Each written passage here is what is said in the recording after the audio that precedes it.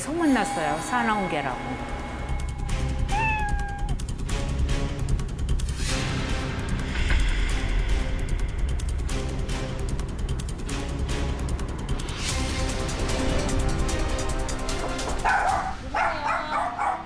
예, 개울령 집에서 나왔는데요. 예.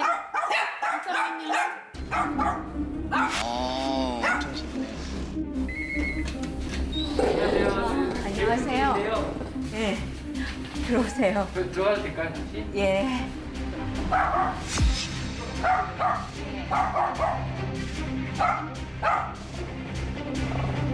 우리 아이 이름은 공구고요.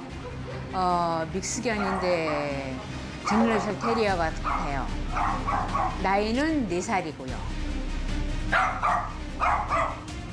아, 쨍느셀은 아니고 믹스 같은데요. 아, 쨍놀살 같. 아, 소리가 크잖아요. 그러니까 바깥에서 모르는 사람들은 얘를 갖다가 못 보니까 큰 개가 짖는지 알고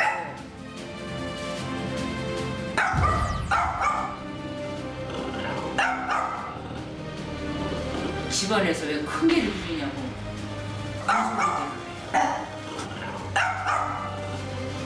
많이 짖구나.